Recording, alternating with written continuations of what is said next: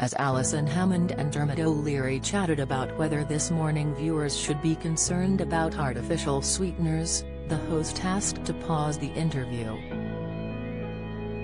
Sorry can I get a tissue? I've got really bad hay fever that's just come on, she asked. Dermot leapt up to pass his co-star a tissue from the table in front as Alison asked, Is this to do with my gut health? Dr. Megan Rossi explained, there is a lot connection there. Alison interrupted again to make a request, I'm sorry I just have to blow my nose. Don't put the camera on me for one second. Thank you. Don't miss.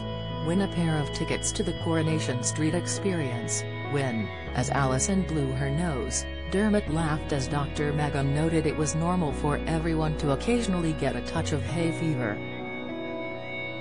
It's so embarrassing, the This Morning host said as the camera panned back to show her topping up her makeup. Dermot remarked, You look good Bubba. Are you done? Amazing. I'm so embarrassed, Alison remarked as Dr. Megan tried to move back onto the topic of artificial sweeteners.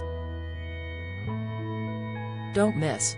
Alison Hammond shares shame of being unable to pay for meals, latest, Coronation Street rocked by new romance as Ryan Connor returns to work, spoiler, inside the life of the repair shop expert Dominic Chinea, Insight. The moment came after Alison threw her support behind a campaign to offer free school meals to everyone.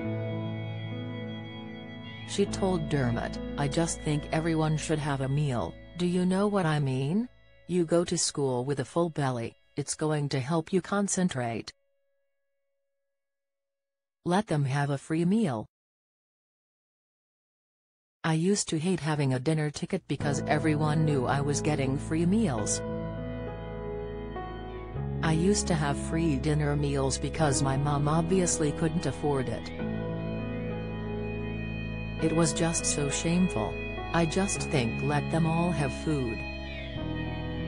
It's just food. When asked if that was a memory which sticks with her, Alison added, yeah, they were like, you've got a ticket, and it was embarrassing because everyone knew you couldn't afford it. I just think it should be more discreet definitely. This Morning airs weekdays on ITV at 10 a.m.